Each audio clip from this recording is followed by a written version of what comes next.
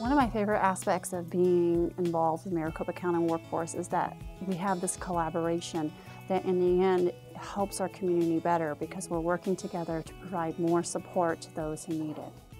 I, I went to Maricopa Workforce Connection and I told them what my vision was. And my vision was to help people that had felonies and to get them on the right track, to help them with employment, to help them with an education. Our community is, uh, is in the South Phoenix area. Our community is traditionally a, a generational poverty, and so they've been dealing with this for, for many decades. By the time most of the people get here, they have been beat up. Uh, they think there is no hope. I guess that's kind of where I take joy the first time I meet someone, because the very first thing that I do is take them in our computer lab and help them with a resume. We're going to write a resume. Go to the resume writer. And once you give a person a resume, it just seems like their, they, their whole countenance just lights up.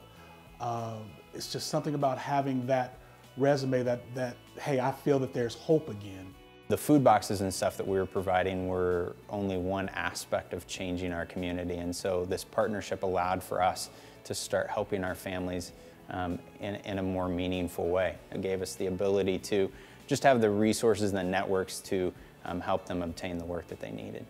It is a challenge to work with a broad range of age groups and different generations. This is the first time in history there's been four generations in the workforce. As we are dealing with um, the workforce and getting people back into the workforce, sometimes we're having to deal with people who um, simply their job skills are 10 to 15 years old and so it's, it's going through that process or they've done particularly heavy in construction jobs and so it's us trying to help them find other skills that they may have so that they can get other work. The Maricopa County Workforce Group has been wonderful in helping us. They provided the training, they gave us a schedule so we can send our staff and volunteers. They've given us supplies to help with the printing and the toner and some flash drives and different things. They've given us flyers and brochures. Every organization, of every group has something they can offer no matter how small it is.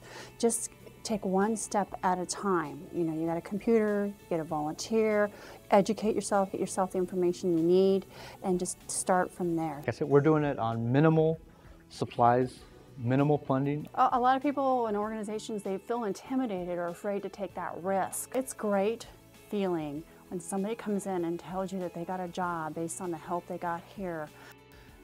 You just know that you've helped a family uh, or helped a person and, and there's nothing better than helping people. There is no checklist of what you need. You know, it's, it's one of those that if you are willing and if you have a computer and you have computer access for them to be able to get to, um, that's all that's necessary.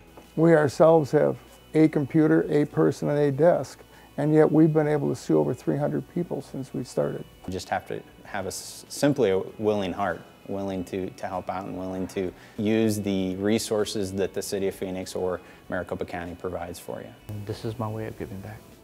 If you help one person, you've done some good.